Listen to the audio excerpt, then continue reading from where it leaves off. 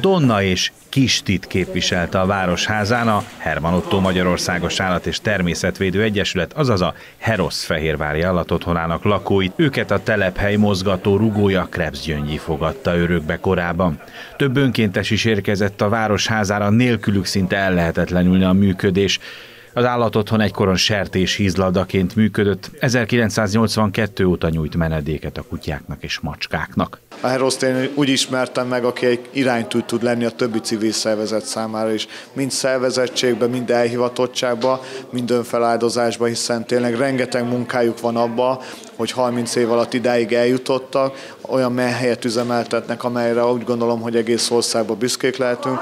Cserpalkovics András elmondta, a számok nyelvén is látszik, mennyire fontos munkát végez a Herosz Fehérvári állatotthon, hisz 30 év alatt több mint 50 ezer kutyát és macskát gondoztak. Nagyon fontos szerepet játszanak a felelős állattartásra való figyelemfelhívásba, az edukációba, egyáltalán a nevelésben, hogy, hogy mit jelent egy állat, mekkora öröm, mellette pedig mekkora felelősség.